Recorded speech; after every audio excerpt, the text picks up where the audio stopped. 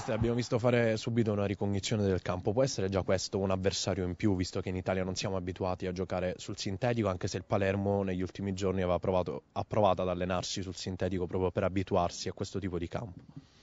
Beh, è chiaramente nettamente diverso a quello dove siamo abituati sia a lavorare a bocca di falco sia a giocare allo stadio, quindi chiaramente è una difficoltà in più però non deve essere assolutamente un alibi, ci siamo preparati, abbiamo appunto sfruttato anche due giorni su un campo sintetico non, eh, non proprio identico ma simile e quindi dobbiamo essere e saremo senz'altro pronti. È un vantaggio eh, giocare con l'idea di dover vincere per forza e passare il turno o è comunque una spada di Damocle che spesso può essere anche pericolosa?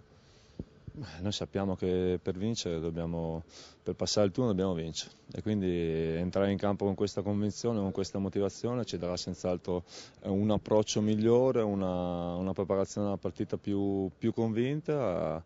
Sappiamo che possiamo far bene, che l'avversario è tosto, ma che anche noi saremo in grado di lottare pallone su pallone perché è chiaro che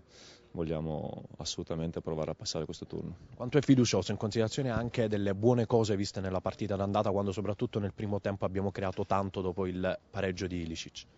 La fiducia c'è, c'è assolutamente, ripeto, grande convinzione perché abbiamo analizzato le, le, gli sviluppi della partita precedente, sia quelli positivi sia anche chiaramente quelli negativi dove contiamo di crescere e di farlo velocemente.